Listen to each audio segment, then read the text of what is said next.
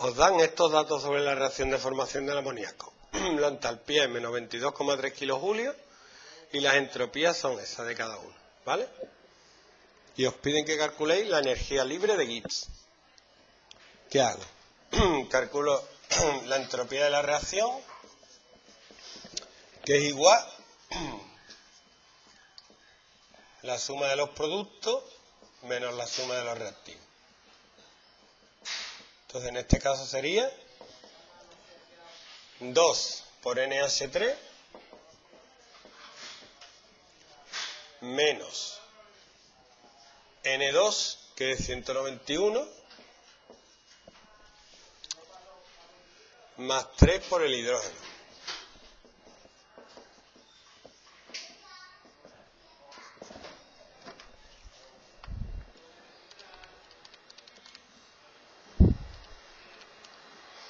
Porque he puesto aquí más. Menos.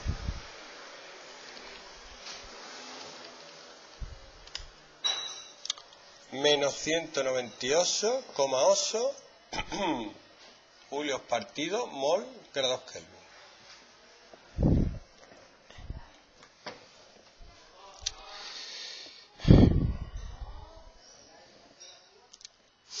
Y la energía libre de Gibbs era incremento de entalpía menos T por incremento de S, ¿no?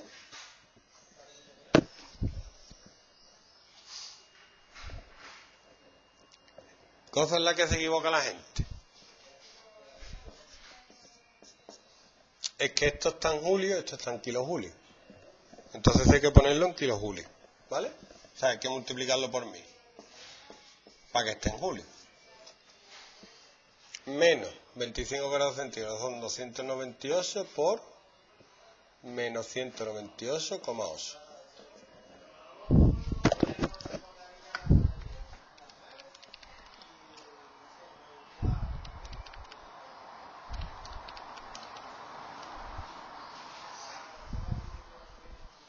menos 33.057,6 julio.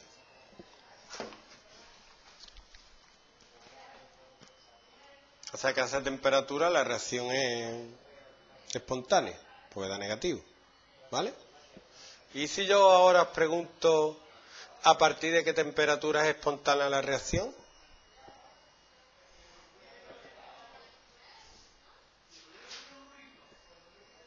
¿Qué hago? ¿Eh? Pero, ¿cómo?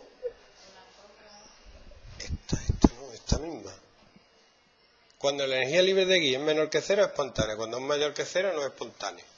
Entonces lo que hago es poner la energía libre de Gibbs a cero. Y despego la temperatura.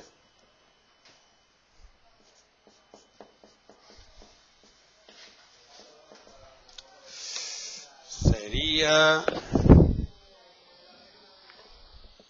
92.300 dividido 198,8 464 grados.